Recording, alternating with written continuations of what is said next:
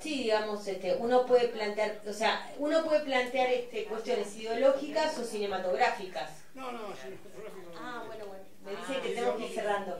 Pero, este, digamos, hay cuestiones ideológicas y cinematográficas que se pueden, eh, digamos, eh, hacer una crítica y me parece que son todas las críticas válidas. Lo importante es haberla visto y, haber, y poder rememorarla y pensarla mañana, ¿no? Totalmente. Y compartirla. Pero una, Sí. una sola cosita. Creo que eh, deja bien parado al movimiento organizado en la figura del padre. Sí, sí, sí. Entonces, en ese sentido, es decir, lo, lo, lo deja bien parado al movimiento obrero. Pero ese no es El padre es un, es un Eh, clasista. Nunca desde el poder. El poder siempre lo manejó. No, y, Laburó- y no, esta- no. esto que No, está, no. que está No lo muy bien, esto de que de, padre es un de la posición del padre con el hijo, ¿no? De que en un momento el padre dice, bueno, pero al final mi hijo traicionó, esa también, ese, rela- ese vínculo que da de padre e hijo en la película y que ¿Podemos hacer una última comentario si que tenemos que cerrar? Sí. No, que está llena de verdad en la película, por ahí ante esa, esa expresión.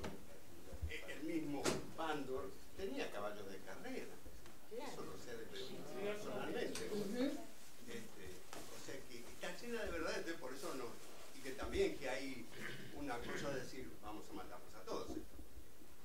Pero eh, el, el maniqueísmo, mm, son verdades. ¿Qué vamos a hacer? Están todas mezcladas ahí. Bueno, O cuando él mismo, No, dice, cuando él mismo dice, bueno, los capitalistas pasemos a ser nosotros. ¿no? Ese- ese- Les agradezco muchísimo por venir. Gracias.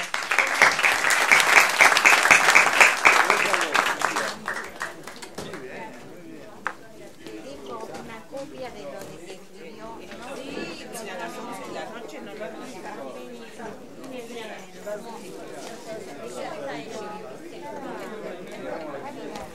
Ahora viene para.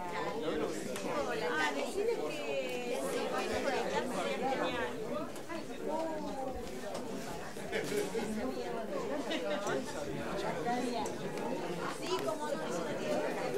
Bien, bien. Sí, sí.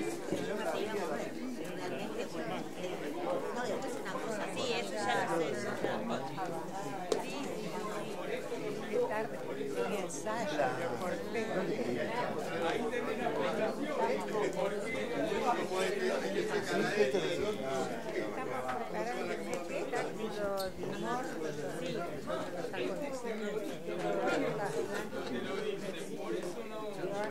Dale, dale, esperame que yo te voy a traer una tarjeta Dale, mía y esto. dale. ¿eh? Sí, quiero que Norma te conozca, ¿sabes? las madres.